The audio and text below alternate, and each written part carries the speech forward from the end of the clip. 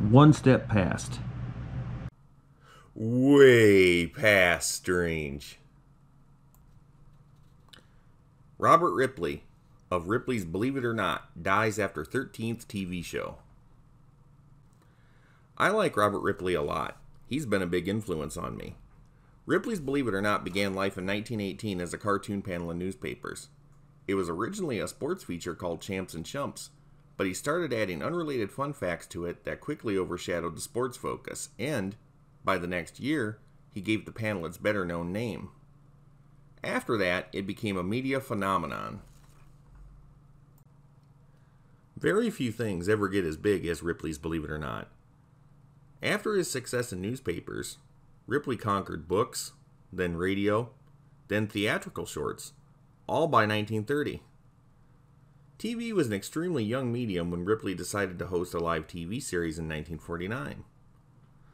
A lot of people at the time wondered why Ripley even bothered with TV. After all, he had already achieved so much success. How long was TV going to be around anyway? The show debuted on March 1st, 1949 on the NBC network and was a hit. Ripley was one of the very first people to prove that TV was a worthwhile medium, believe it or not. However, the show didn't last long.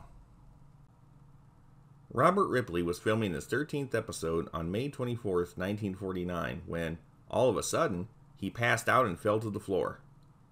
It was toward the end of the program, and, of all things, it was during a segment on Taps, the military funeral song. The show wasn't over, but he couldn't continue. At the time, Ripley resisted all efforts to take him to the hospital. Twelve hours after his fainting spell, Ripley checked himself into the hospital. He died just three days later on May 27th. The cause of death was a massive heart attack. He was 59 years old.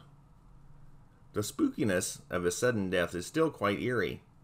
The unlucky number 13, the fact that he dropped during taps. Also, if Robert Ripley had any pre existing health conditions, he had kept them low profile. Quite frankly, no one expected him to die when he did. The master of weird stuff for over 30 years died in a weird manner himself. What happened to the show? Ripley's TV series tried to continue without him. For the rest of the first season, a number of guest custodians hosted the show until Robert St. John became the permanent host in July of 1949. His run ended in November of that year.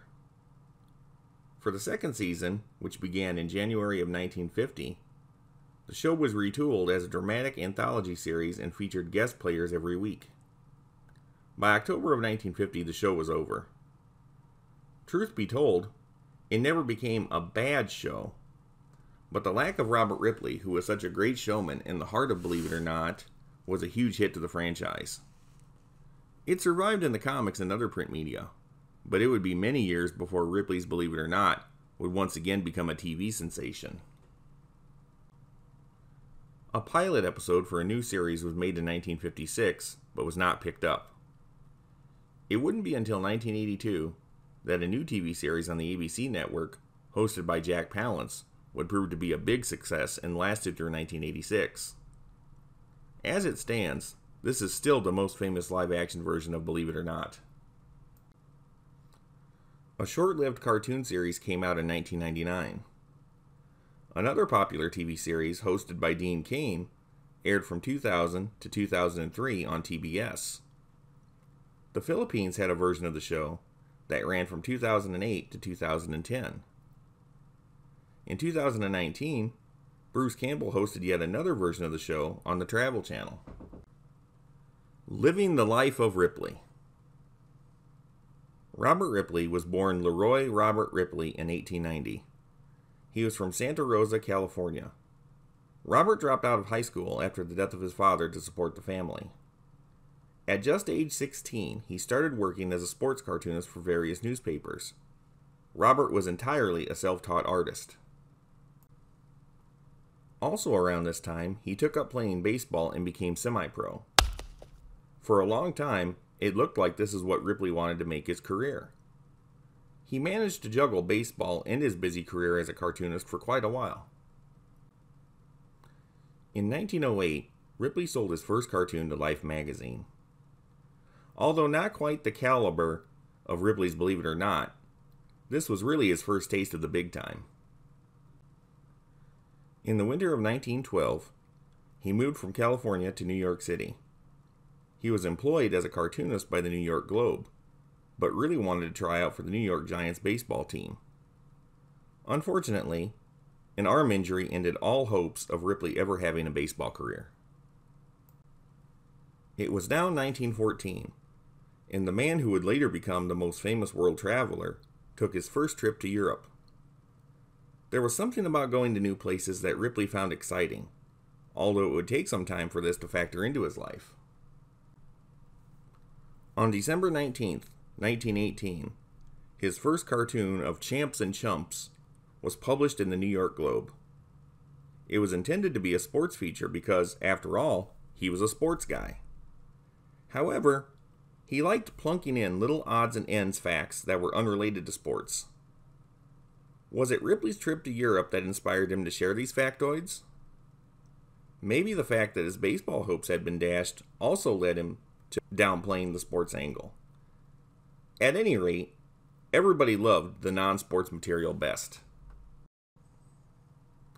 On October 16, 1919, the cartoon was renamed to Ripley's Believe It or Not, and it blew up all over the place. Also in that year, he married a Ziegfeld Follies dancer by the name of Beatrice Roberts. Robert's marriage to Beatrice didn't last. In reality, they were only together for three months. However, it took until 1926 for the divorce to officially go through. Ripley himself never married again. He did, however, have a lot of girlfriends around the world. Ripley wasn't opposed to the idea of marriage, but his wife would have to share his globe-trotting lifestyle, and that wasn't an easy find. If Robert Ripley had children, we don't know about them. Beatrice had two more failed marriages after that, producing one son. She also had a decent career as a movie actress, although mostly in small parts. One of her best known roles is Queen Azura in Flash Gordon's Trip to Mars from 1938. In 1920, Ripley went back to Europe, although this time was to cover the Olympics in Belgium. On December 3, 1922, he made his first trip around the world. He kept a journal of his travels, and this would prove to be quite helpful for the cartoon. In 1923, Ripley hired a researcher by the name of Norbert Perlroth. This man became the primary researcher of the cartoon until 1975. Also in the early 1920s, Ripley became a champion handball player and later wrote a book about the sport. Odd enough, as popular as Ripley's cartoon was, it remained in only the New York Globe until 1923 when that paper folded. Then it moved to the New York Post. Reprints of the cartoon were published in various places, opening it up to a wider audience. On July 9, 1929, Ripley joined King Feature Syndicate, the major distributor of comic strips in the world. King Features is what got Ripley's Believe It or Not in newspapers all over America and the world. What was already a big hit became a super duper mega hit. By 1930, Ripley's crossed over into radio, theatrical shorts, and more books. Also in that year, Hearst, who owned King Features, started funding Ripley's travels around the world.